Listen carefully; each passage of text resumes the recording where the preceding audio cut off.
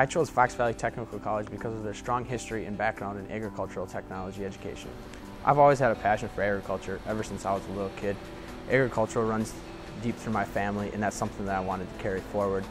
We're learning all about what goes into nutrient management plans. We are also learning the basics behind a lot of the new precision ag technology. The hands-on experience at Fox Valley Technical College is outstanding. Being able to go out to a real-life field and apply a lot of the knowledge that we're learning in class, it really increases the learning level.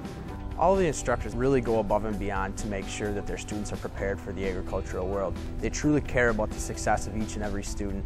After attending Fox Valley Technical College, I plan on going back to my hometown and eventually starting up my own potato farm operation as well as working with a local farm in the area.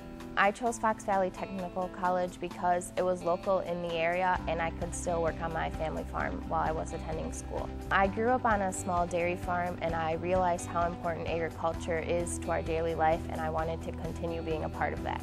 Currently I'm in nutrient management so we're learning how to write nutrient management plans for farmers and I'm also in the business management program where we're learning about cost of production and budgets. I like that we are out on the farm or out in the field seeing and doing what we learn in class. The instructors are really helpful. Through them I actually got my internship last summer where I still am currently employed. If you have any questions you can just email them anytime and they're willing to answer and help and do whatever they can. I would highly recommend it. It's a great program.